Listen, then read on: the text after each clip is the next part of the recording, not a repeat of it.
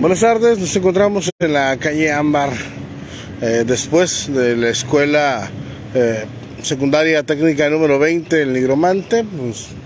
le comento a usted que en esta área pues, se encuentra cerrada la circulación vehicular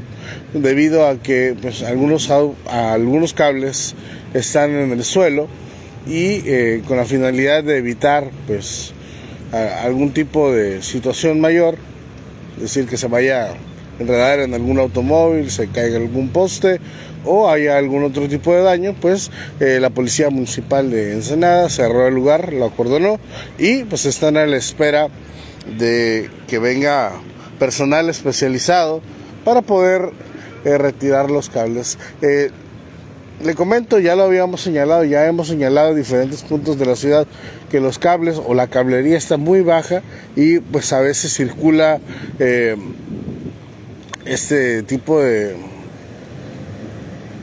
de automóviles pesados, muy altos, como para pues estas zonas, Entonces es por ello que pues al momento se encuentran nada más resguardando la zona elementos de la policía municipal de esta ciudad y será ya en cuestión de algunos minutos en los que pues llegue el personal especializado tiene que venir personal de la Comisión Federal de Electricidad para determinar si son o no son cables de ellos, si eh, efectivamente tienen o no tienen corriente y también pues de las diferentes empresas que prestan servicios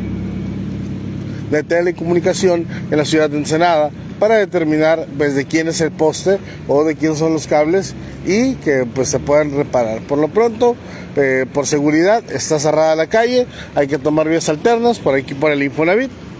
Eh, si usted va a subir para Valle Verde o, bien este esperar un poco más para pues este poder ingresar por la calle Ámbar si es que tiene que hacerlo. Bueno, informándole a usted a través de CNR Noticias. Assalamu alaikum.